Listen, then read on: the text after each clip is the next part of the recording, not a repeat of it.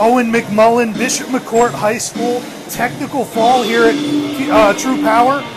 Tell me what you were trying to do out there, what, what you got, what worked. The moment I get my hands on people, I'm trying to break them, and I know that no one, no one in the country can last with me. My pace is top notch, and it's because of training with such great partners, Bishop McCort. You've got such an incredible room of guys to work out with. How much does that force you to elevate your own game? Uh, we just we make each other better every day. I mean, one guy wants to be the hardest worker in the room, then the next guy sees that and they just want to want to keep matching each other. And that's why it's such a special room.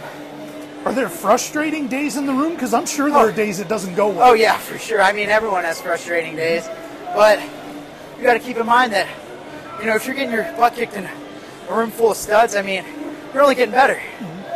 16 and 11 in, in your freshman year. Yeah. What'd you learn from your freshman year that impacted your training in the offseason? Um, uh, don't cut as much weight. get, get as big as I can, and uh, I think the biggest jump that I made from my freshman year to now is that I don't care who I'm wrestling. When I was in my freshman year, like going into Iron Man and Power, I, I cared too much about who I was wrestling, and uh, now I don't care. If you put the number one guy in the country against me, I'm gonna, I'm gonna push the pace and get my attacks. Is the focus all kind of on yourself now and, and making sure you're getting to what you want to do instead of worrying about the Yes, other guy? hundred percent. I mean, you got to be aware of what guys are good at, but I can't change your game plan going into the match. You just got to stick to what you're good at and have a high pace. What do you think you showed out here in this win?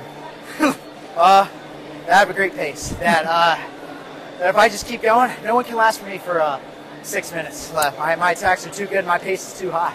If they even get the six minutes. right? Exactly. Exactly. Owen McMullen, Bishop McCort, technical fall winner here at True Power. Congratulations, man. Thank you.